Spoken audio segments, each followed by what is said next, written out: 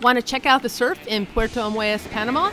Keep watching. Betsy from Living in Panama, the place for information and advice on being an expat in Panama. Interested? Click subscribe and hit the bell so you don't miss a video. My husband and I were out on the beach in Puerto Armuelles one Sunday morning recently, and we noticed there were about 12 or so surfers in the ocean by Corazon de Jesus neighborhood, which is a pretty unusual sight here.